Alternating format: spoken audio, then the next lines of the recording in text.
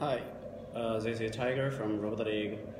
Uh, in this video, I want to show you the screws and barrels, uh, the mini, uh, mini size.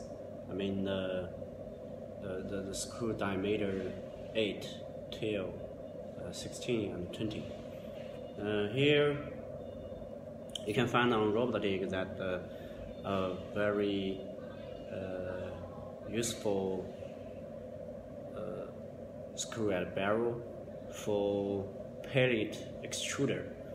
And uh, this uh, screw is diameter 8 and uh, you can see this barrel is not a traditional uh, barrel but most like like the the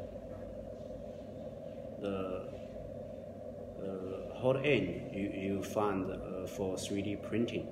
Uh, this uh, is kind of heat sink, but here is the barrel tube, and you can have the thermal tube and the, the thermocouple to add it here and another uh, gear step motor or uh, standard step motor as the drive uh, drive motor as a pellet extruder. Uh, this is an uh, idea of Maha from Spain, I think.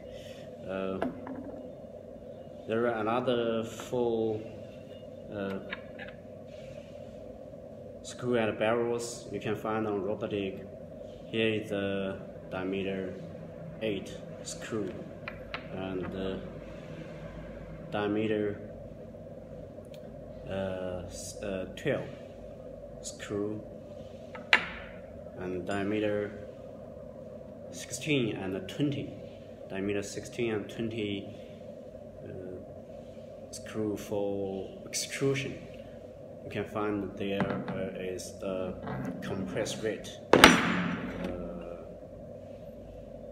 the pellet go down here and just uh, uh, go through the screw and uh, compress. There is a compress rate. Here is the barrel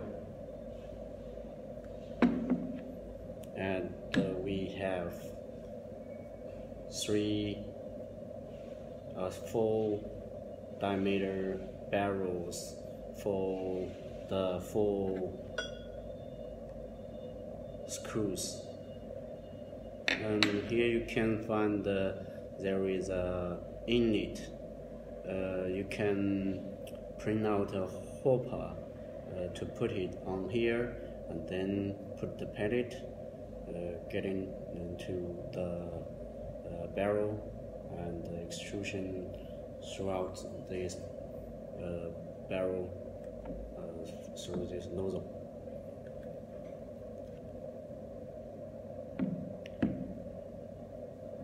Uh, here I just want, uh, want to mention that uh, the the pre precious plastic and uh, I think the precious plastic is a great project and you can find the, the project on YouTube.